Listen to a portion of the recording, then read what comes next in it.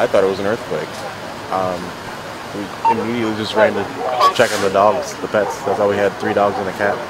Can't find the cat. We were just asleep, that's all. We heard it about 7 o'clock this morning.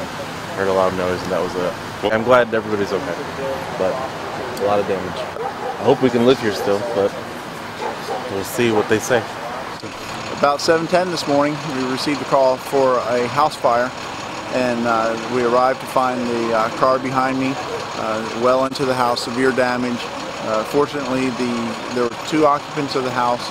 Both of them were uninjured. They have several pets as well. They were uninjured as well.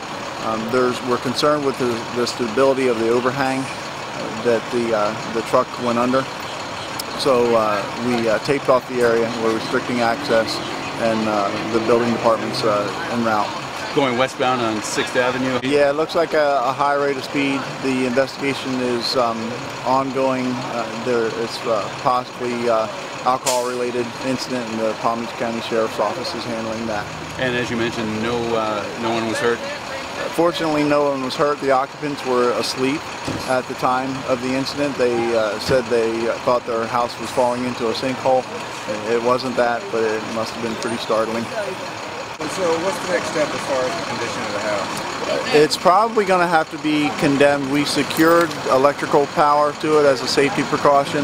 The building department will come out and assess it. Uh, in the near term, though, before the vehicle can be re removed, the overhang is going to have to be shored up somehow so that the wrecker driver can safely get in there, hook up to the vehicle, and, and pull it out. So that's what we're waiting for.